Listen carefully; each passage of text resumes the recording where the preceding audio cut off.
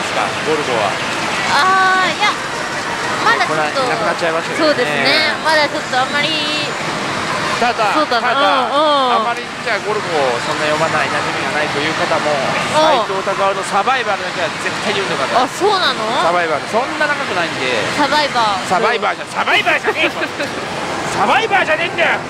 サバイバル。バルだバル。バルバルサバイバルねサバイバルだけはあ読んでください。あどんな話なの？あの天変地異が起きてうん。である若者たちで一人が生き残っちゃうんですよ。おそこからどう生き抜いていくかっていう。おおサバイバルだね。サバイバル。へえサじバイバル。ゃあ分かりました。サバイバルクイズ。ペなロペロにサバイバルクイズやりましょう。わかるわけねえだろ。やったことないんだから何も食べるものがない。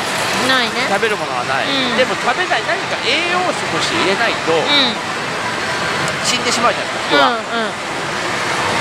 サトルはある。あうどんだと思い込んで食べようとしたあほう。あるものそのあるものとは何でしょう。もうこれはうどんだ。うどんだと思って食おう。食わなきゃ死んじゃう。って言って食べたものがあるんです。なるほど。うどんっていうことはまあひょろひょろってしてるものってことだよねひょろひょろってうしてる。どんだとうどんだと自分で思い込んでサトルが食べたものとはさて何でしょう。もう何もない買い物が何もない。何もない状況で。うん。で大自然でしょ？大自然です。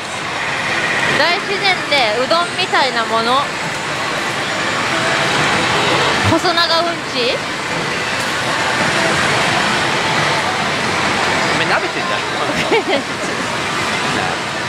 自然界にあるもんだよ自然界にあるものだよ。あわかった。はい。ミミズ。正解。素え晴らしい。マジで？もうもう生きていくためにしょうがないですよ。うわー。でしょ？でも食べるものはないです。でもうん。取らなきゃいけないです栄養源を。ただペロさんに残念なお知らせですなんだ？サバイバルクイズに夢中になってる間に私、マイナスに。あれ？嘘。マイナスになり、えー600枚割っちゃいましたね。マジか